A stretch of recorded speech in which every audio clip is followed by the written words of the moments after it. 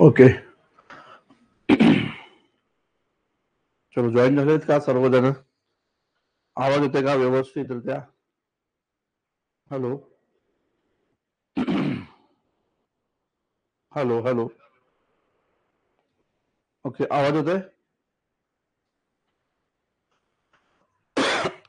Okay ठीक आहे. पहा मित्रांनो आजचं आपलं महत्वाचं सेशन आपण या ठिकाणी करणार आहोत. ते म्हणजे महाराष्ट्रातील समाज सुधारक या टॉपिकवर येतोय आवाज?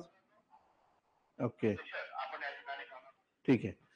आता पहा मित्रांनो राज्यसेवा मुख- राज्यसेवा पूर्व परीक्षा जी आता आपली एक डिसेंबरला या ठिकाणी जाहीर झालेली आहे आणि आय होप की एक डिसेंबरला आपली परीक्षा या ठिकाणी होणार आहे. आणि त्या दृष्टिकोनातून आपण सर्वच विद्यार्थी मित्र तयारीला या ठिकाणी लागलेला असणार. आणि या सगळ्या प्रकरणामध्ये इतिहास हा जो विषय जो आहे राज्यसेवा पूर्व परीक्षेमध्ये इतिहास हा जो विषय आहे जो खूप जास्त महत्त्वाचा विषय या ठिकाणी मानला जातो. तर लक्षात घ्या या विषयामध्ये आपल्याला समाज सुधारक हा एक महत्त्वाचा घटक आहे. आणि या समाज सुधारक या घटकावर बरेच वेळा पूर्व परीक्षेला मुख्य परीक्षेला प्रश्न या ठिकाणी विचारलेले आहेतच. आणि कंबाईनच्या पेपरमध्ये पण बरेचसे प्रश्न समाज सुधारक या घटकावर विचारलेले असतात लक्षात घ्या. आणि म्हणून मग आज आपण समाज सुधारक या टॉपिकवर समाज सुधारक हा जो टॉपिक आहे तर त्या समाज सुधारक या टॉपिकवर आज आपण महत्वाचं लेक्चर या ठिकाणी करणार आहोत. ज्यामध्ये राज्यसेवा मुख्य परीक्षेला समाज सुधारक या घटकावर जे पण काय आयोगानं प्रश्न विचारलेले आहेत तर ते प्रश्न आपण इथे घेणार आहोत. आणि त्या प्रश्नांच्या माध्यमातून आपण सर्व घटकांची चर्चा इथे या ठिकाणी करणार आहे. तेव्हा सुरू करूया आजचं महत्वाचं या ठिकाणी सेशन आता पहा इथं जे जे काही प्रश्न विचारलेले आहेत आयोगानं तर ते सगळे प्रश्न आपण इथे या ठिकाणी पाहूया आणि त्यांचं एक्सप्लेनेशन देखील आपण इथे या ठिकाणी करूया. तर सुरू करूया आजचं महत्वाचं सेशन आता बघा या प्रकारचा हा प्रश्न आहे जो प्रश्न राज्यसेवा मुख्य परीक्षा दोन हजार बावीसच्या क्वेश्चन पेपरमध्ये विचारला.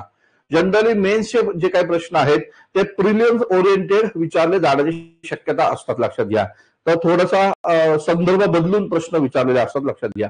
आता बघा हा एक प्रश्न विचारा दोन हजार बावीसच्या क्वेश्चन पेपरमध्ये आहे. आणि प्रश्न असा आहे धनकवडी जे आहे तर त्या धनकवडी येथे महात्मा ज्योतिराव फुले यांनी विक्टोरिया बालाश्रमाची सुरुवात कोणाच्या मदतीनं केली? या प्रकारचा प्रश्न इथे या ठिकाणी आहे. फुल्यांनी विक्टोरिया बालाश्रम जे आहे तर त्याची सुरुवात केली. हे कधी सुरुवात केलेली आहे तर लक्षात घ्या अठराशे सत्याहत्तर ला. या विक्टोरिया बालाश्रमाची सुरुवात या ठिकाणी केली आहे. कुठे? तर धनकवडीमध्ये केलेली आहे. आता बघा याचा संदर्भ काय आहे तो समजून घ्या. आपल्याला माहिती असेल की अठराशे पंच्याहत्तरला दख्खनच्या या ठिकाणी दंगे झालेले आहेत. आणि त्या दख्खनच्या दंग्यांमध्ये सत्यशतक समाजानं शेतकऱ्यांच्या बाजूनं इंग्रजांना विविध प्रकारचे पत्र व्यवहार या ठिकाणी केला होता असं देखील या ठिकाणी दिसून येतं. याचबरोबर आपल्याला हे माहिती आहे की या काळामध्ये भारतामध्ये मोठ्या प्रमाणात दुष्काळ आला होता. आणि मग दुष्काळग्रस्त जे लोक आहे तर त्यां- त्यांना सहाय्य करण्यासाठी महात्मा ज्योतिराव फुले धनकवडीमध्ये दुष्काळ कॅम्प त्या ठिकाणी सुरू केलेला होता.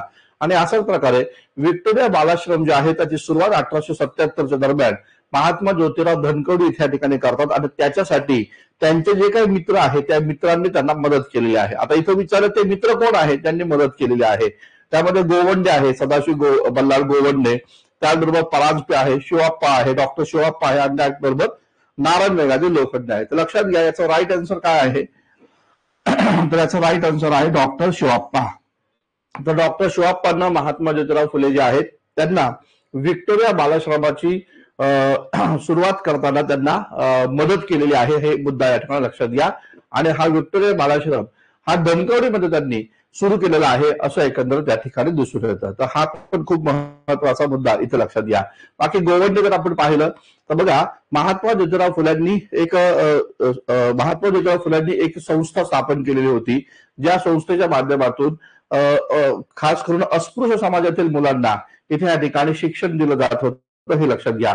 मान महार लोकांकरता विद्या शिकवणा करताचे मंडळ या नावाची संस्था महात्मा ज्योतिराव फुले हे या ठिकाणी स्थापन करतात. मी नाव रिपीट या ठिकाणी करतो.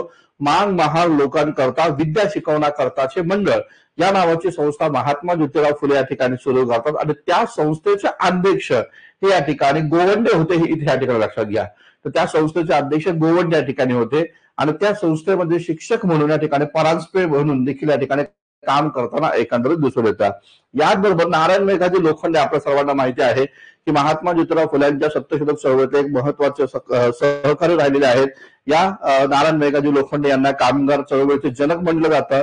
यांच्या माध्यमातून बॉम्बे मिल हँड असोसिए बॉम्बे मिल हँड वर्कर असोसिएशनची स्थापना केली. याचबरोबर दिनबंधू या वृत्तपत्रातून यांनी कामगारांच्या समस्या ठिकाणी मांडलेल्या आहेत. याचबरोबर नारायण मेघाजी लोखंडे यांच्या माध्यमातून प्रयत्न करण्यात आला. रविवारची सुट्टी या ठिकाणी कामगारांना मिळावी आणि त्यासाठी रेस्कोस मैदानामध्ये पुण्यातल्या रेस्कोस मैदानामध्ये कामगारांची दहा हजार कामगारांची एक बैठक त्यांनी या ठिकाणी घेतलेली आहे सभा घेतलेली आहे आणि त्यांच्या प्रयत्नामुळे दुसरा फॅक्टरी ऍक्ट जो आहे अठराशे ब्याण्णवचा तर तो या ठिकाणी इथं संमत करण्यात आल्याचं एकंदरीत दिसून येतं. तर हे महात्मा ज्योतिराव फुलांच्या सोबत असणारे महत्त्वाचे सहकारी आहे. तर या सहकार्यांवर आयोग प्रश्न या ठिकाणी विचारत असतो. त्यामुळे महात्मा फुले अभ्यासत असताना त्यांच्या चळवळीसोबत जे काही उच्चवर्णीय लोक या ठिकाणी होते. त्याचबरोबर जे पण काही सहकारी होते त्यांच्यावर प्रश्न आयोग जरूर या ठिकाणी विचारतो. तर ते थोडस व्यवस्थित त्या ठिकाणी करून घ्या. चलो त्यानंतरचा प्रश्न आपण आता पाहूया. आता बघा हा एक प्रश्न आहे. राज्यसेवा मुख्य परीक्षा दोन हजार वीसच्या क्वेश्चन पेपरमध्ये हा एक प्रश्न या ठिकाणी आलेला आहे. आता प्रश्न काय आहे तो नीट समजून घ्या. Notes on infant marriage and enforced widowhood या ना ते पुस्तक कोणी लिहिलं? अशा प्रकारचं पुस्तक आहे अशा प्रकारचा प्रश्न आहे. तर बघा नीट वाचून घ्या. Notes on infant marriage and enforced widowhood हे ग्रंथ जो आहे तर हा ग्रंथ कोणी लिहिला? अशा प्रकारचा प्रश्न आहे. पर्याय जर आपण पाहिले बेहरामजी मलबारी आहे दादाभाई नवरोजी आहे मॅडम भिकाजी कामा आहे आणि त्याचबरोबर पेरिन कॅप्टन अशा प्रकारचा हे पर्याय इथं आपल्याला दिसतात. आता बघा या पुस्तकाचं नाव आपण पाहिल्यानंतर आपल्याला इथं लक्षात येतं की अनफोर्स्ड विडोहूड अनफोर्स्ड विडोहूड या प्रकारचा इथं नाव या ठिकाणी आहे. आणि notes on infant marriage and enforced widowhood तर लक्षात या या काळामध्ये म्हणजे जर आपण पाहिलं तर हा जो काही पुस्तक आहे हा अठराशे चौऱ्याऐंशीचं पुस्तक आहे लक्षात घ्या. हे अठराशे चौऱ्याऐंशीचं पुस्तक आहे. आणि विडोहूडच्या नावावरनं अनफोर्स विडोहूडच्या नावावरनं आपलं लक्षात येतं की विधवांच्या समस्यांच्या संदर्भातील हे पुस्तक या ठिकाणी असलं पाहिजे. आता पण या संदर्भामध्ये आपल्याला लक्षात आलं पाहिजे की विधवांच्या समस्यांबद्दल काम करणारे पर्यायांमध्ये कोण व्यक्ती होती? तर ती व्यक्ती होती बेहरामजी मलबारी. तर बेहरामजी मलबारी जे आहे तर या बेहरामजी मलबारी यांनी notes on infant marriage and enforced widowhood या नावाचा या ठिकाणी ग्रंथ लिहिला होता असं एकंदर दिसतं. आणि हा ग्रंथ अठराशे चौऱ्याऐंशी सालचा आहे हा मुद्दा लक्षात घ्या. आता बघा बहरामजी मलबारी यांच्याबद्दलची माहिती आपल्या इयत्ता अकरावीच्या पुस्तकामध्ये देखील आपल्याला या ठिकाणी पाहायला भेटतात. तर त्यांनी एक पुस्तक या ठिकाणी त्यांनी एक वर्तमानपत्र या ठिकाणी लिहिलं होतं ज्या वर्तमानपत्राचं नाव होतं इंडियन स्पेक्टॅटर. नाव नीट लक्षात घ्या. तर इंडियन स्पेक्टॅटर या नावाचं एक नियतकालिक त्यांनी सुरू केलेलं होतं. आणि त्या माध्यमातून त्यांनी जे काही भारतीय मुलींवर जे अनाकलनीय विधवेच समस्या या ठिकाणी येते म्हणजे कमी वयामध्ये त्या विधवा ज्या होतात त्या संदर्भात त्यांनी जनजागृती केल्याचं एकंदर दिसतं. आपल्याला माहिती आहे की या सगळ्या परिस्थितीमध्ये फुलमणी नावाची जी काही मुलगी होती त्या संदर्भातील एक प्रकरण खूप जास्त गाजलं जे अठराशे चौऱ्याऐंशी साली होतं. आणि मग त्या संदर्भामध्ये त्यांनी या ठिकाणी notes on infant marriage and enforced widowhood या नावाचा ग्रंथ ते लिहिताना एकंदरीत दिसून येतं. तर बहरामजी मलबारी यांच्या प्रयत्नामुळे आपल्या सर्वांना माहिती आहे की सन अठराशे एक्क्याण्णव ला एक कायदा या ठिकाणी बनला. आणि या कायद्याच्या माध्यमातून आपल्याला पाहायला भेटतं की मुलीचं विवाह योग्य वय हे या ठिकाणी बारा वर्ष असं या ठिकाणी करण्यात आल्याचं एकंदर त्या ठिकाणी दिसून येतं. या प्रकारे बहिरामजी मलबारी हे या प्रश्नाचं राईट आन्सर आपल्याला या ठिकाणी दिसून येतं. तर यावर प्रश्न विचारला जाण्याची शक्यता या ठिकाणी आहे. आता बघा याच संदर्भात विधवांच्या संदर्भातील कोणी कोणी अजून काय कार्य केलेलं आहे त्याबद्दलची पण माहिती आपण इथे या ठिकाणी जाणून घेऊ. विधवांच्या संदर्भात आपल्याला माहिती आहे ईश्वरचंद्र विद्यासागर यांनी काम केलेलं आहे. आणि या ईश्वरचंद्र विद्यासागर यांच्यामुळं विधवा पुनर्विवाह विवाहाचा कायदा अठराशे छप्पन्न साली इथे या ठिकाणी संमत करण्यात आल्याचं एकंदरीत दिसून येतं. याचबरोबर ईश्वरचंद्र विद्यासागर जे आहेत त्यांनी विडो वुमन विडो वुमन या नावाच्या ठिकाणी ग्रंथ लिहिल्याचं एकंदरीत दिसून येतं. आता बघा तशाच प्रकारे महाराष्ट्रामध्ये पण आपल्याला दिसून येतं विष्णू शास्त्री पंडित आहे बघा. तर विष्णू शास्त्री पंडितांना महाराष्ट्राचे ईश्वरचंद्र विद्यासागर म्हणून या ठिकाणी संबोधलं गेलेलं आहे. तर त्यांनी पण रागडे आणि लोकहितवादी यांच्या सहाय्यानं अठराशे पासष्ट साली साली विधवा पुनर्विवाह उत्तेजक मंडळीची स्थापना केलेली आहे. असं आपल्याला या ठिकाणी दिसून येतं. तर हा पण खूप महत्त्वाचा मुद्दा लक्षात घ्या. याचबरोबर विष्णुशास्त्री पंडित जर आपण पाहिले तर त्यांनी स्वतः कुसाबाई या नावाच्या एका विधवेसोबत इथे या ठिकाणी विवाह केला होता. या प्रकारचा मुद्दा पण आपल्याला माहिती असणं गरजेचं आहे. ब्राह्मण कन्या विवाह विचार हा देखील ग्रंथ अ, विष्णुशास्त्री पंडित यांनी लिहिलेला आहे असं आपल्याला या ठिकाणी दिसून येतात याचबरोबर आपल्याला माहिती असेल की याच नंतर कर्वे जे आहे बघा धोंडकेश कर्वे.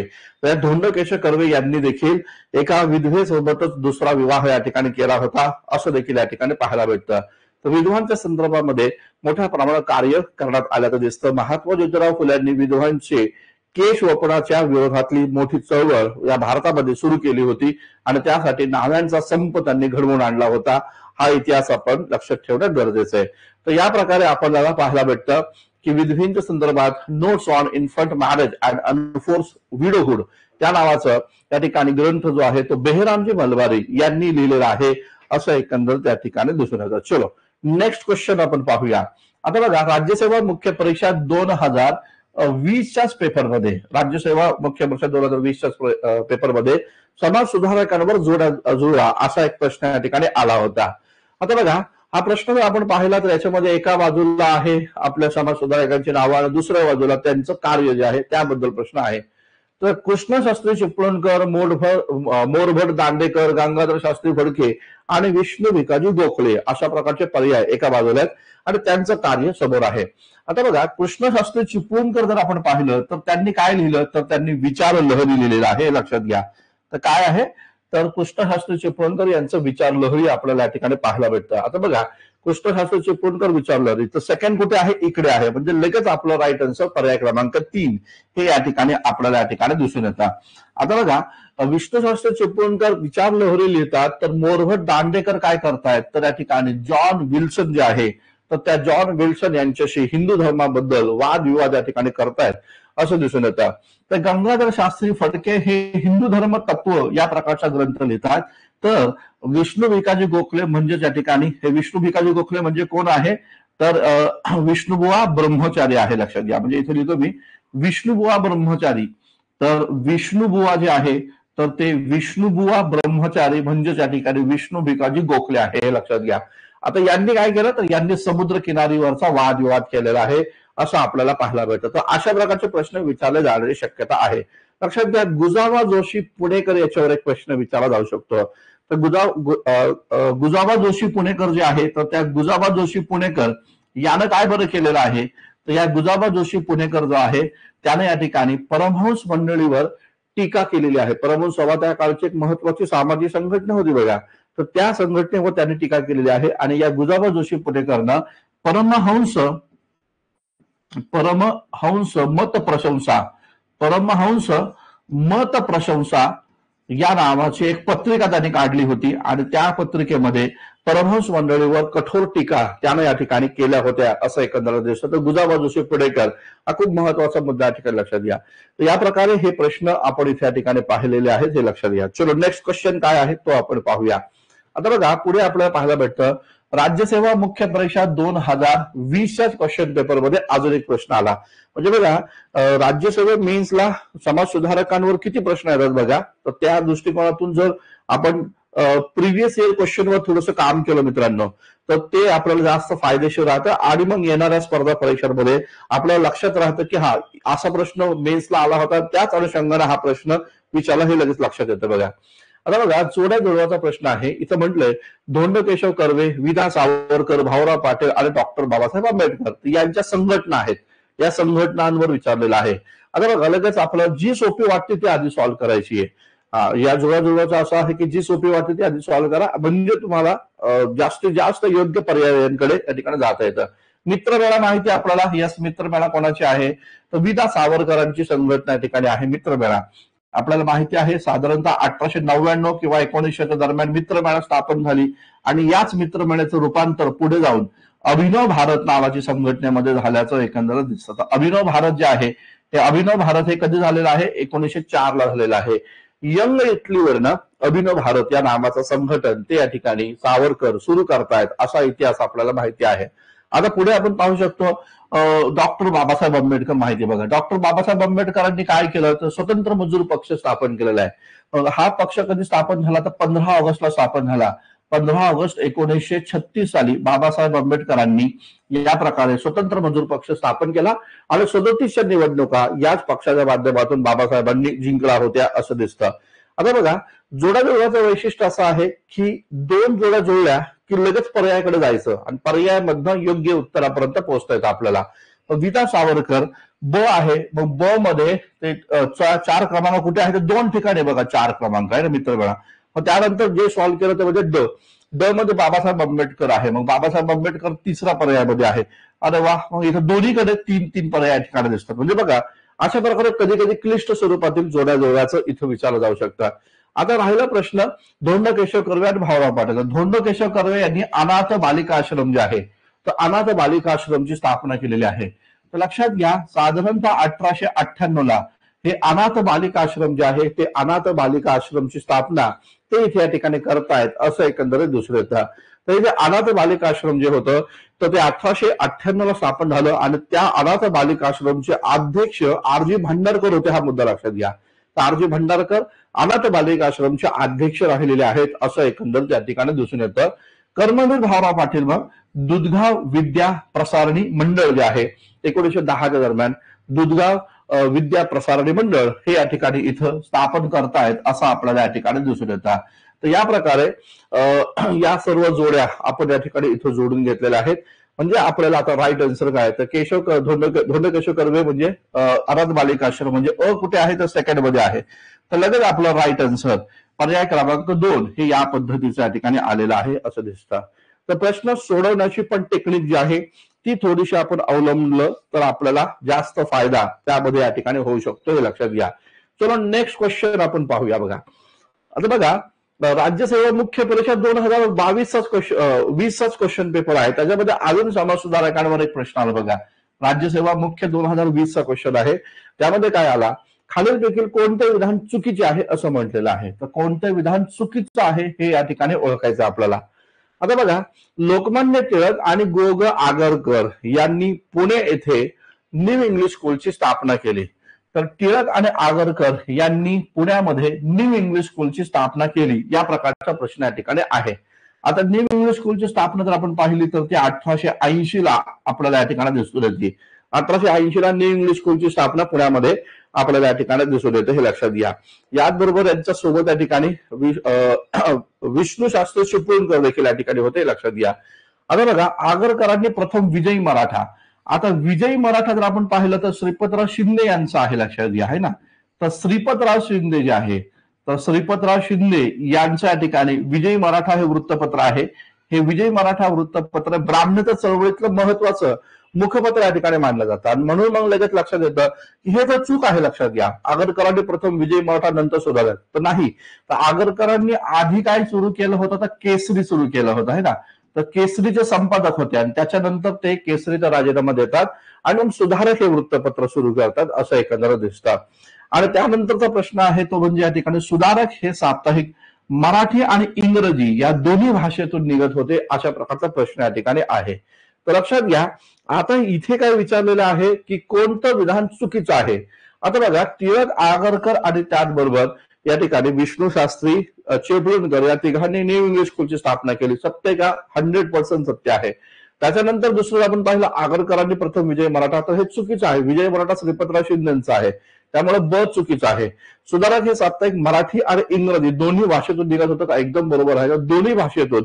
हे वृत्तपत्र या ठिकाणी निघत होतं हे लक्षात घ्या. सुधारक हे वृत्तपत्र दोन्ही भाषेतून निघत होते मराठा आणि मराठी आणि त्याचबरोबर इंग्रजीतनं. अशा दोन्ही भाषेतून ते निघत होतं. आणि म्हणून मग फक्त ब इथं चुकीचं आहे लक्षात घ्या. फक्त ब चुकीचं आहे म्हणजे पर्याय क्रमांक चार हे आपल्या प्रश्नाचं राईट आन्सर या ठिकाणी दिसून येतं. तर अशा प्रकारे हा राईट आन्सर आपल्याला या ठिकाणी पाहायला भेटेल. चलो ठीक आहे नेक्स्ट क्वेश्चन पाहूया आपण. आता बघा राज्यसेवा मुख्य परीक्षा दोन हजार दोन हजार वीसचा क्वेश्चन आपल्याला या ठिकाणी दिसतोय. विठ्ठलरामजी शिंदे यांच्या बाबतीत खालीलपैकी कोणतं विधान चुकीचं आहे असं म्हणलेलं आहे? वीरा शिंदेच्या बाबतीत कोणतं विधान चुकीचं आहे? या प्रकारचा हा प्रश्न आपल्याला या ठिकाणी दिसून येतो. आता बघा इथे आपण पाहूया कोणतं विधान चुकीचं आहे. आर्य समाजाचे प्रचारक म्हणून त्यांनी काम केलं. आधी तर प्रश्न सोडवण्याची घाई करू नका बघा. तर आधी फक्त चार पर्याय वाचून घ्या. तर आर्य समाजाचे प्रचारक म्हणून त्यांनी कार्य केलं का? पाहूया आपण. कायदेभंग चळवळीत सहभाग घेतला एकदम बरोबर आहे. तर कायदेभंग चळवळीमध्ये वीरा शिंदेचा सहभाग होता. पुण्यामध्ये जो सत्याग्रह झाला तर त्या सत्याग्रहाचे प्रमुख नेते या ठिकाणी ते त्या ठिकाणी होते हे लक्षात घ्या. पुण्यामध्ये जो मीठ सत्याग्रह झाला तर त्या सत्याग्रहाचे नेते ते होते. आणि इथं आपल्याला पाहायला भेटतं एस एन जोशी आणि त्या एस एन जोशी नाग गोरे आणि वीरा शिंदे यांना सहा महिन्याचा तुरुंगवास इथं झाला होता. त्या प्रकारची माहिती या ठिकाणी मिळते. तर पुण्या सत्याग्रहाचं नेतृत्व ते या ठिकाणी वीरा शिंदेनेच केलं होतं. मंदिर प्रवेशाबाबत त्यांनी सत्याग्रह केला. तर मंदिर प्रवेशामध्ये सत्याग्रहामध्ये ते सहभागी राहिलेत का? कुठे? शंभर टक्के राहिलेले तर लक्षात घ्या वाई मंदिर सत्याग्रह जो आहे तर तो वायू मंदिर सत्याग्रह यांच्याच नेतृत्वाखाली झाल्याचं दिसून येतं.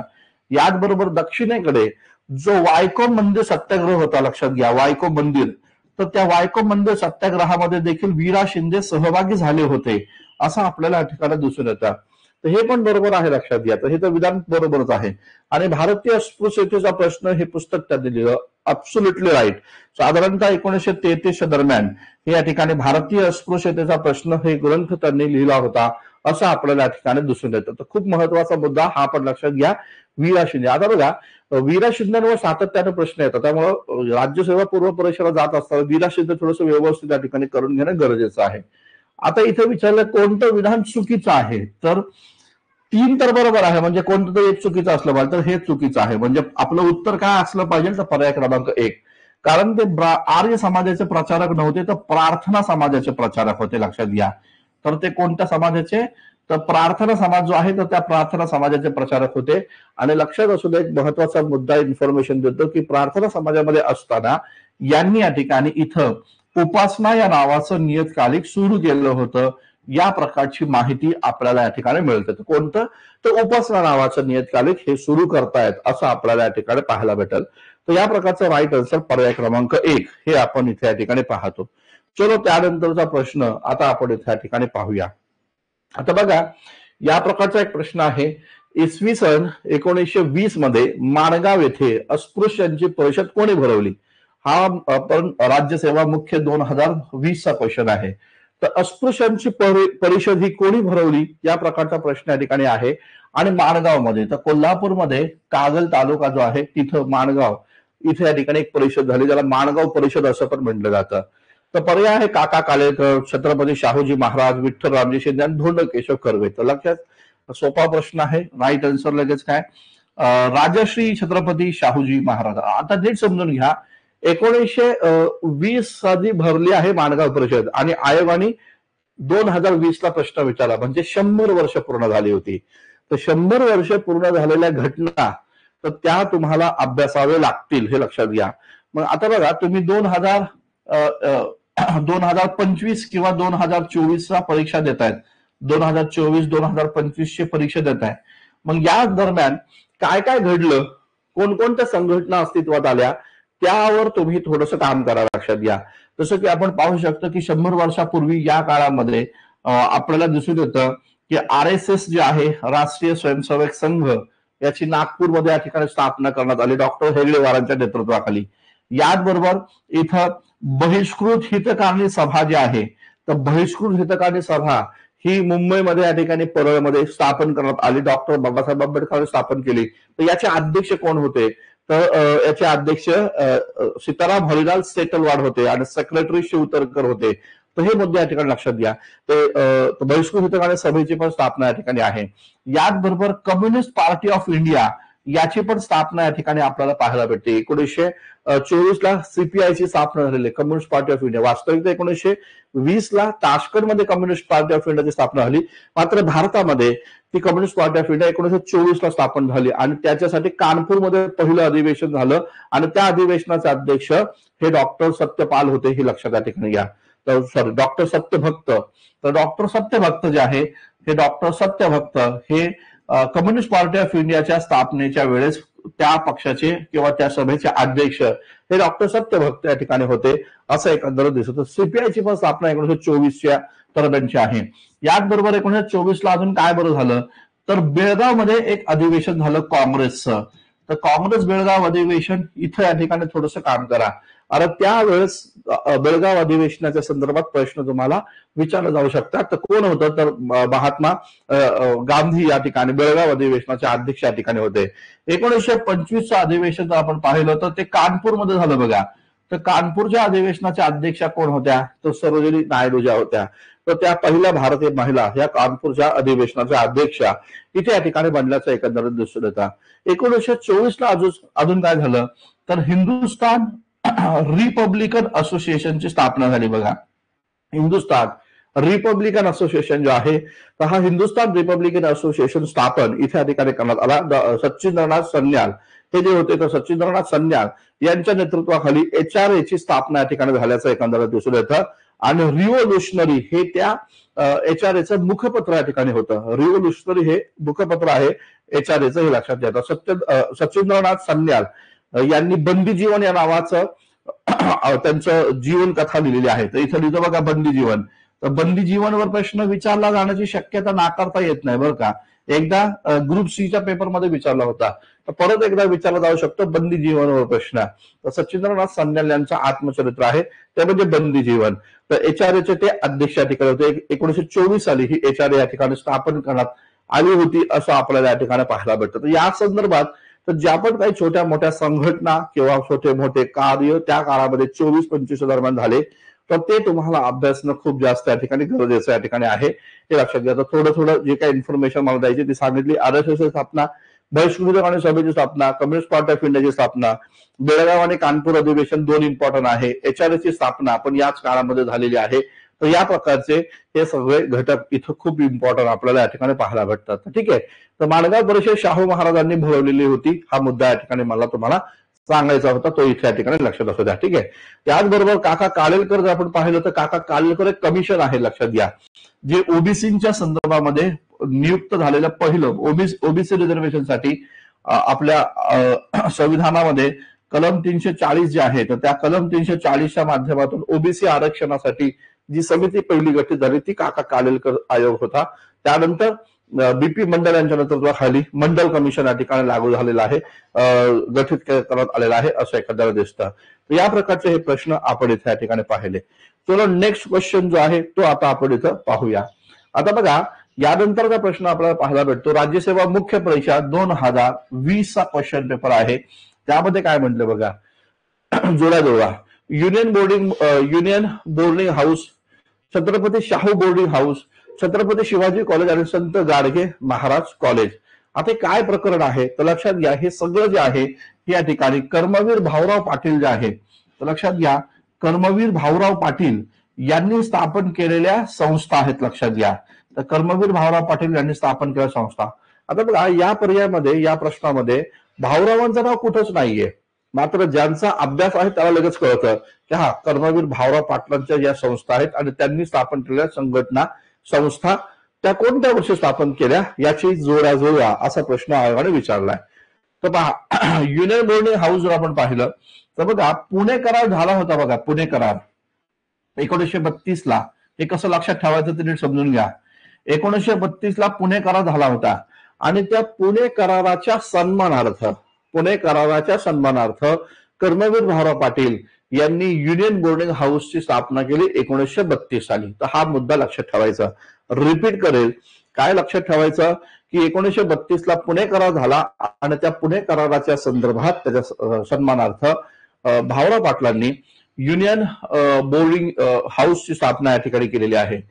त्यानंतर हा छत्रपती शाहू बोर्डिंग बघा. आता छत्रपती शाहू बोर्डिंग. आता हे तर माहिती कर्मवीर भाऊराव पाटील आणि शाहू महाराजांचा खूप जवळचा संपर्क आहे. भाऊराव पाटलांनी आपलं संपूर्ण शिक्षण शाहू राजवाड्यामध्ये शाहू पॅलेसमध्ये बसून पूर्ण केलेलं आहे. आणि म्हणून शाहू महाराजांचं जेव्हा निधन झालं तेव्हा त्यांच्या सन्मानार्थ एकोणीसशे चोवीस साली त्यांनी या ठिकाणी छत्रपती शाहू बोर्डिंग हाऊसची स्थापना केलेली आहे असं आपल्याला माहिती या ठिकाणी मिळते. आता बघा कधी पण लक्षात ठेवा जोड्या जुळव्यातल्या दोन जोड्या जुळल्या की लगेच उत्तराकडे या ठिकाणी यायचं. पर्यायाकडे यायचं. म्हणजे आपल्याला योग्य ते उत्तर लगेच त्या ठिकाणी पाहायला भेटतं.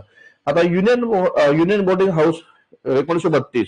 म्हणजे पर्याय क्रमांक चार. बघा एकाच ठिकाणी एकाच पर्यायामध्ये पर्याय क्रमांक चार आहे. तर लगेच राईट आन्सर पर्याय क्रमांक दोन हे आपल्याला या ठिकाणी दिसून येतं. हे लक्षात घ्या. आता बघा शिवाजी कॉलेज जे आहे हे शिवाजी कॉलेज एकोणीसशे चव्वेचाळीस आहे. आणि संत गाडगे महाराज हे एकोणीसशे पंचेचाळीस एकोणीसशे चोपन्नच या ठिकाणी आहे. या प्रकारे आपल्याला पाहायला भेटतं. की कर्मवीर भाऊराव पाटील यांनी स्थापन केलेल्या संस्था त्यांच्या जोड्या जोडवा असा हा प्रश्न मेन्सला विचारला गेलेला आहे. इथे या ठिकाणी लक्षात असू द्या. चलो नेक्स्ट क्वेश्चन आता आपण परत एकदा पाहूया. आता बघा राज्यसेवा मुख्य परीक्षा दोन हजार वीस. म्हणजे बघा किती प्रश्न आलेत?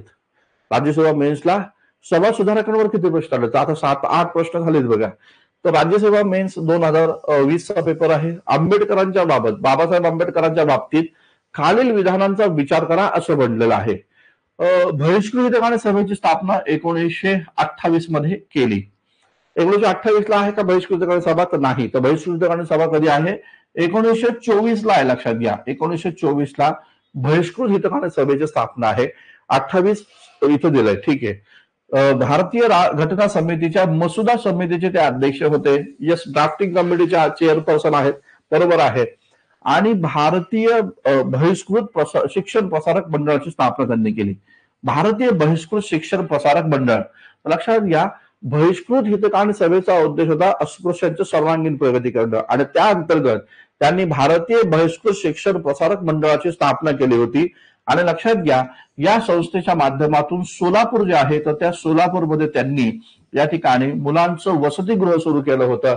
असं एकंदर त्या ठिकाणी दिसून येतं. आणि त्या मुलांच्या वसतिगृहातील मुलांना वाचनाची आवड या ठिकाणी लागावी म्हणून एक नियतकालिक वसतिगृहाच्या वतीनं सुरू केलं जात होतं. त्याचं नाव होतं सरस्वती विलास. लक्षात घ्या. नाव काय होतं? तर सरस्वती विलास. तर सरस्वती विलास या नावाचं ते या ठिकाणी एक नियतकालिक इथं या ठिकाणी सुरू करतायत असं आपल्याला या ठिकाणी पाहायला भेटतं. तर या प्रकारे इथं आहे. आता खालील देखील कोणते विधान बरोबर आहे असं प्रश्न विचारलेला आहे. तर भयस्कर आणि स्वागत एकोणीशे म्हणजे चोवीसशे आहे. त्यामुळे हे तर नाही बरोबर. राईट आन्सर काय? अ ब आणि क आहे. ब आणि क कुठे आहे? तर ब आणि क इथे आहे पर्याय क्रमांक दोन मध्ये. त्यामुळे आपलं राईट आन्सर पर्याय क्रमांक दोन हे या ठिकाणी इथं असलं पाहिजे.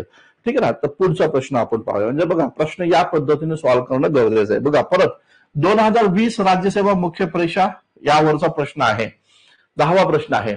अठराशे एकोणनव्वदमध्ये industrial association of western India या संस्थेची स्थापना कोणी केली? अठराशे एकोणनव्वद बघा. आता हा थेट माहिती असेल तर प्रश्नाचं उत्तर या ठिकाणी सॉल्व्ह केला पाहिजे. आता जनरली महा आपल्या एमपीएसच्या क्षेत्रामध्ये ज्या ज्या कोणी समाज सुधारकांचे पुस्तक काढलेलं आहे त्या प्रत्येक समाज सुधारकांच्या पुस्तकामध्ये industrial association of western India या संस्थेची माहिती दिलेली आहे आणि ते संस्था की न्यायमूर्ती रानडे जे आहेत त्यांनी या ठिकाणी स्थापन केलेले आहे. हे सर्वांना माहिती असलं पाहिजे हे लक्षात घ्या. कोणतंही समाज सुधारकाचं एक पुस्तक घ्या तुम्ही. त्यामध्ये industrial association of western India हे रागड्याने स्थापन केलेली संस्था होती अठराशे एकोणनव्वदच्या दरम्यान. या प्रकारची माहिती आपल्याला या ठिकाणी मिळते. ठीक आहे? तर industrial association of western India. तर महादेव गोविंद रानडे यांनी स्थापन केलेली ही संस्था आपल्याला या ठिकाणी पाहायला भेटते. लक्षात घ्या रानड्यांचा एक विचार पण या ठिकाणी आहे. राष्ट्रीय शाळांपेक्षा राष्ट्रीय कारखाने देशाच्या हितासाठी जास्त उपयुक्त या ठिकाणी होईल. आणि म्हणून मग त्या प्रकारे भारतीय इंडस्ट्रीला चालना देण्यासाठी त्यांनी या प्रकारे या प्रकारे त्यांनी इंडस्ट्रीयल असोसिएशन ची स्थापना केल्याचं एकंदर त्या ठिकाणी दिसून येतं. तर हा महत्त्वाचा मुद्दा आपण या ठिकाणी लक्षात ठेवा. चलो. हा एक महत्वाची सूचना या ठिकाणी करायची आहे लक्षात घ्या. हिस्ट्री बाय संतोष चव्हाण या नावाचं जे आपलं ऍप्लिकेशन आहे तर त्या ऍप्लिकेशनमध्ये इतिहास या विषयाच्या खूप सारा बॅचेस आहेत. तर त्या बॅचेस कोणत्या आहेत त्याची माहिती मी तुम्हाला इथे ठिकाणी देतो. आणि लक्षात घ्या या आपल्या ऍप्लिकेशनमध्ये सर्वच बॅचला सर्वच बॅचला ईएमआय सुविधा आपण या ठिकाणी दिलेली आहे. तेव्हा मित्रांनो तुम्ही त्या बॅचला या ठिकाणी तुम्ही ऍडमिशन या ठिकाणी घ्या ईएमआयमध्ये ऍडमिशन घ्या. तीन महिन्यांमध्ये तुम्हाला त्या बॅचची फीज टप्प्याटप्प्याने पे करायची आहे. तर एवढ्या सुविधा कुठेच दिल्या जात नाही त्या आपण येथे या ठिकाणी दिलेल्या आहेत. तर हिस्ट्री बाय संतोष चव्हाण हे ऍप्लिकेशन आहे. त्या ऍप्लिकेशनमध्ये तुम्ही या ठिकाणी या बॅचेस जरूर या ठिकाणी परचेस करा. आता कोणत्या बॅचेस आहेत? बस त्याची एकदा दोन मिनिटं तुम्हाला माहिती सांगतो आणि मग पुढे आपण जाऊया. आता जे कोण विद्यार्थी हिस्ट्री ऑप्शनलसाठी डिस्क्रिप्टिव्ह पॅटर्न वर्णनात्मक पद्धतीचा दोन हजार पंचवीसचा जो आपला पॅटर्न होणार आहे तर त्यासाठी जे कोण अभ्यास करत असतील तर त्यांच्यासाठी हिस्ट्री ऑप्शनलची एक महत्वाची बॅच आहे. एकवीस सप्टेंबरपासून ही बॅच आपण नव्यानं इथे या ठिकाणी सुरू केलेली आहे. तर एकवीस सप्टेंबरपासून ही बॅच सॉरी एक सप्टेंबर जो आहे एकवीस सप्टेंबर म्हणतोय तर एक सप्टेंबरपासून ही बॅच आपण नव्याने या ठिकाणी सुरू केलेली आहे. तर लक्षात घ्या ancient India medieval India modern आणि त्याचबरोबर आधुनिक जग. जो काही आयोगानं पेपर वन पेपर टू चा सिलेबस दिलेला आहे तो सगळा सिलेबस आपण याच्यामध्ये करणार आहे. विशेष म्हणजे लिखाण सराव पण आपण इथे या ठिकाणी करून घेणार आहोत. याचबरोबर वर्णनात्मक पद्धतीनं असणारी जी काही दुसरी बॅच आहे आपली ती म्हणजे इतिहास जीएसची बॅच ज्यांनी हिस्ट्री ऑप्शनल नाही निवडला अन्य सब्जेक्ट हे ऑप्शनल सब्जेक्ट आहे. तर त्यांनी इथे या ठिकाणी इतिहास जीएससाठी या आपल्या ऍप्लिकेशनवर असणारी ही बॅच जरूर या ठिकाणी जॉईन करा. Art and culture bhakti movement संपूर्ण स्वातंत्र्याची चळवळ जी आहे त्याचबरोबर आधुनिक जग असे सगळेच कंटेंट आपण या बॅच मध्ये या ठिकाणी देत आहोत. हे लक्षात घ्या. साहजिकच इथं पण लिखाणाचा सराव करत आहोत. तर जे पण अंडर ग्रॅज्युएट असे विद्यार्थी आहेत त्यांनी ही राज्यसेवा बेसिक फाउंडेशन बॅच त्यांच्यासाठी आहे. अंडर ग्रॅज्युएट विद्यार्थ्यांसाठी कंबाईन बेसिक फाउंडेशन बॅच देखील या ठिकाणी आहे. त्या दोन महत्त्वाच्या बॅचेस आहेत. त्यापैकी कोणतीही बॅच तुम्ही या ठिकाणी जॉईन करा. याचबरोबर संयुक्त पूर्व मुख्य परीक्षा दोन हजार चोवीस ची एक महत्वाची बॅच आहे. प्राचीन आणि मध्ययुगीन भारताच्या इतिहासाची ही पण एक महत्वाची बॅच आहे जी आता तुम्हाला राज्यसेवेला खूप जास्त इम्पॉर्टंट राहील. तर लक्षात घ्या राज्यसेवा एक डिसेंबरला आहे. तर त्या एक डिसेंबरच्या परीक्षेसाठी तुम्हाला ही बॅच इम्पॉर्टंट राहील प्राचीन आणि मध्ययुगीन भारत. याचबरोबर समाज सुधारकांची एक बॅच आपण इथे या ठिकाणी घेतलेली आहे. तर ती पण खूप अतिशय अतिशय सुंदर अशी सुरेख अशी बॅच आहे. या बॅच मधचं वैशिष्ट्य असं की ही बॅच तुम्ही परचेस केलं तर या बॅचच्या सोबत तुम्हाला मी स्वतः प्रकाशित केलेलं समाज सुधारकाचं पुस्तक. स्वतः प्रकाशित आलेलं लिखाण लेखक पण मीच आहे. तर त्या समाज सुधारकांचं पुस्तक तुम्हाला इथे या ठिकाणी या बॅच सोबत मिळेल. घरपोच मिळेल. सात दिवसाच्या आतमध्ये तुम्ही दिलेल्या पत्त्यामध्ये तुम्हाला हे घरपोच मिळेल. याचबरोबर इतिहास या विषयाची पीवाय क्यू बॅच आहे. त्यामध्ये राज्यसेवा आणि कंबाईनचे वनसेवेचे सगळेच पीवाय क्यू आपण घेतलेले आहेत. आणि टेस्ट पेपर आणि रिव्हिजन बॅच आहे. राज्यसेवा पूर्व व मुख्य परीक्षा टेस्ट पेपर रिव्हिजन बॅच या प्रत्येक बॅच मध्ये पाचशे पाचशे क्वेश्चन राज्यसेवेच्या आणि कंबाईनच्या आहेत. तर तुम्हाला जी पण कोणती बॅच या ठिकाणी योग्य वाटत असेल तर ती बॅच तुम्ही या ठिकाणी जॉईन करा. आणि विशेष म्हणजे ईएमआय फॅसिलिटी अवेलेबल करून दिलेली आहे. तीन हप्त्यांमध्ये त्या बॅचची फीस तुम्हाला पे करायची आहे हे लक्षात घ्या. तर तुम्ही आजच या ठिकाणी ही बॅच जॉईन करा. आपल्या मित्रांना देखील सांगा ईएमआय फॅसिलिटी मध्ये तीन टप्प्यांमध्ये तुम्हाला जी पण फीज आहे त्या फीज तीन टप्प्यांमध्ये भरायची आहे एकदम भरायची नाहीये. ठीक आहे? चलो नेक्स्ट क्वेश्चनकडे. आता आपण इथे या ठिकाणी जाऊया. आता बघा महाराष्ट्रातील समाज सुधारक या टॉपिकमध्ये आपल्याला अजून एक महत्त्वाचा प्रश्न या ठिकाणी मिळाला. ते दोन हजार एकोणीसच्या पेपरमध्ये दोन हजार एकोणीसचा पेपर जर आपण पाहिला राज्यसेवा मेन्स हा तर काय प्रश्न आहे नीट समजून घ्या. पुढील वाक्यात कोणाचं वर्णन आहे? अशा प्रकारचा प्रश्न आहे. यांचा जन्म कर्नाटकातील जामखिंडी येथे झाला. आता पहिल्यांदाच जामखिंडीमध्ये कोणाचा जन्म झाला हे आपल्या मुलांना माहिती असेल तर थेट उत्तर या ठिकाणी मिळतं. विरा शिंदेंद्र जन्म झाला. ते प्रार्थना समाजाचे एकनिष्ठ सेवक होते. राईट माझ्या आठवणी व अनुभव हे त्यांचं आत्मचरित्र होतं. एकदम बरोबर आहे. आणि त्यांनी भारतीय अस्पृश्यतेचा प्रश्न हा निबंध लिहिला. एकदम बरोबर आहे. तर कोण आहे? तर विठ्ठल रामजी शिंदे. हे या ठिकाणी लक्षात घ्या. तर वीरा शिंदे यांचं हे आपल्याला राईट आन्सर या ठिकाणी पाहायला भेटतं. तर या प्रकारे आपण हा महत्त्वाचा मुद्दा इथे या ठिकाणी डिस्कस केलेला आहे. वीरा शिंदे हे या प्रश्नाचं राईट आन्सर आपल्याला या ठिकाणी दिसतो. जामखिंडीमध्ये जन्म आहे प्रार्थना समाजाचे एकनिष्ठ सेवक आहे. माझ्या आठवणी व अनुभव हे आत्मचरित्रात्मक ग्रंथ त्यांनी लिहिलेला आहे. आणि याचबरोबर भारतीय अस्पृश्यतेचा प्रश्न जो आहे तर भारतीय अस्पृश्यतेचा प्रश्न हा ग्रंथ देखील त्यांनी या ठिकाणी लिहिल्याचं एकंदर दिसून येतं. तर वीरा शिंदे हे खूप महत्वाची व्यक्ती आपल्याला माहिती आहे. किंवा आपल्या सभा सुधारकांच्या टॉपिकवर यांच्यावर प्रश्न एक ना एक या ठिकाणी जरूर या ठिकाणी असतो हे लक्षात घ्या. पुढे बघू आपण यशवंतराव फुले. यशवंतराव फुले कोण आहेत बघा? यशवंतराव फुले म्हणजे महात्मा ज्योतिराव फुले जे आहेत. महात्मा ज्योतिराव फुले यांनी ज्या मुलाला दत्तक घेतलं होतं दत्तक पुत्र म्हणजेच या ठिकाणी यशवंतराव फुले आपल्याला पाहायला भेटतं. आपल्याला माहिती असेल कदाचित की सन अठराशे एकोण अठराशे सत्त्याण्णव ला यांच्या ठिकाणी निधन झालं प्लेगची साथीमध्ये. तर प्लेगची साथीमध्ये रुग्णांचा उपचार करता करता यांच्या ठिकाणी निधन झालेलं आहे असं आपल्याला दिसतं. तर प्लेगच्या साथीमध्ये यशवंतराव फुले गेले. सावित्रीबाई फुलांचं पण निधन झालं आणि नारायण मेघाजी लोखंडे यांचं पण या ठिकाणी निधन झालं. हा मुद्दा या ठिकाणी लक्षात घ्या. तर प्लेगच्या साथीमध्ये या तीन सुधारकांचा निधन झाल्याचं एकंदर दिसतं. राज्यसभा मुख्य परीक्षा दोन हजार एकोणीसचा क्वेश्चन आहे.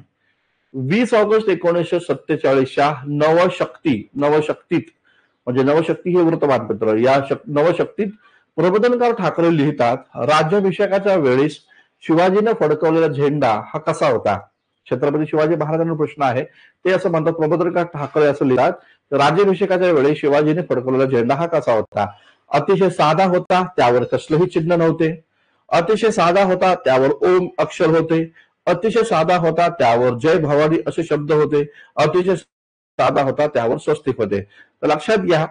आता बघा स्वस्तिक जय भवानी आणि ओम ही सगळे हिंदू प्रतीक मानली जातात है ना? छत्रपती शिवाजी महाराजांनी कोणत्याही एका धर्माचं राज्य स्थापन नाही केलं लक्षात घ्या. छत्रपती शिवाजी महाराजांचं राज्य हे हिंदवी स्वराज्य होतं.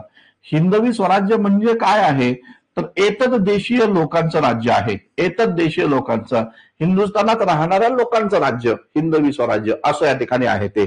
ठीक आहे? त्यामुळे त्यांचा झेंडा हा अतिशय साधा होता आणि कसलंच चिन्ह त्या झेंड्यावर नाहीये.